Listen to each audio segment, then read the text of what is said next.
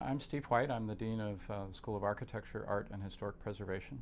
One of the great things about Roger Williams uh, for students uh, in, in uh, architecture, art, preservation, uh, and art history is that there are a lot of connections between the programs.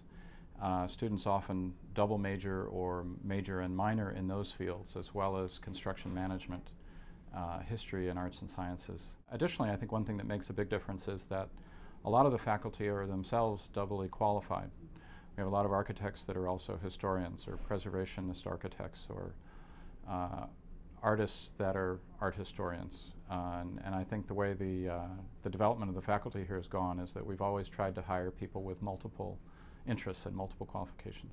There's really a, an idea here that you're defined by your second area of specialty. If we're all architects or artists, uh, the ones that, that often become distinctive in some way are the ones that follow a, a complementary path that really gives them a whole, a whole world of ideas to, uh, to draw from.